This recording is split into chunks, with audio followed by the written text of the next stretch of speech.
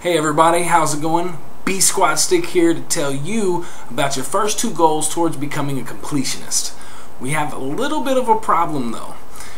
When I decided to do this series, instead of creating a brand new Xbox Live account and starting fresh, I decided to delete all of the data off of my regular account. And when I did this, two goals remained intact. The make a mix goal and the well connected goal when I did this and started up, the fans were already there. So, in order to keep this going smoothly and keep it to where it just looks normal, I'm going to simulate getting these goals instead of letting them go the way they did. So, we're going to play it out and see how it happens, and I think it'll work out, but we'll see. The first goal we're going to work on today is the well-connected goal. With this goal, you're just simply connecting your Rock Band 3 Xbox data to the Rock Band Central servers.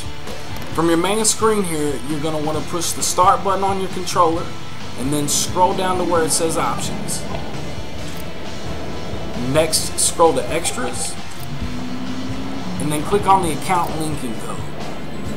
Here, you should find a 10-digit code. Now switch over to your computer and head to www.rockband.com sign into your Rock Band account and if you don't already have one you're gonna need it so go ahead and create one and then log in.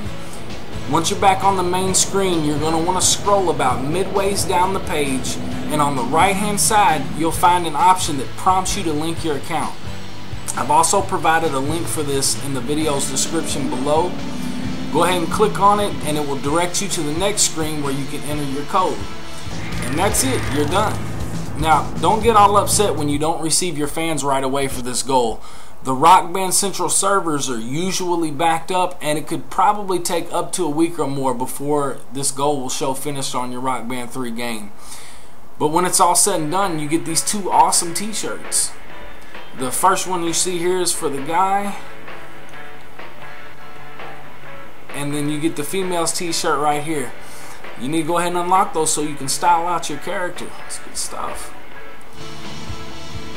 Alright, next we're going to talk about the Make a Mix goal. On your main screen, click here where it says Play Now. Quick Play. And then scroll down one and click Play a Set List. On this next screen, you're going to want to click Make a Set List. Now all you have to do is scroll down, pick and choose a few songs that you enjoy playing. You can even just click here at the top where it says random song, click it three or four times and it'll throw a set list together for you. I'm just going to choose Dance Epidemic here. Um, let's see. Jeremy's always a classic. I'm going to throw that one in there. And how about, I don't know, New Dark Ages. That one looks good. It'll work. We got a set list. When you finish choosing your favorite songs, scroll back up to the top and click Finish Set List. On this screen, you're going to want to click Save and Share with Friends. If you don't click this option here, you're not going to get credit for this goal. Now it's going to prompt you to name your set list. It throws a name up there for you. You can name it that. You can name it whatever you want. Put your name in there. I'm just going to call this one an epic set list. Some good songs in there, know. Next, you're going to want to give a description. It's pretty much just so that your friends can see how you describe this set list. I'm just going to throw in epic. Enough said. This next part, you're going to provide the set list art. It's pretty much your album cover. I'm just going to choose this one and move on. At this point, you're done. Go ahead and click finish and achieve your goal. You receive all kinds of goodies for this one too. As you can see, you got five different things you're to get for this one.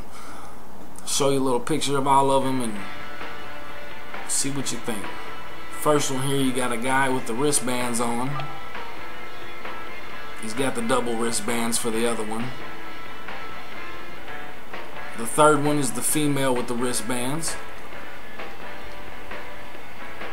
The fourth one is her with the double wristbands.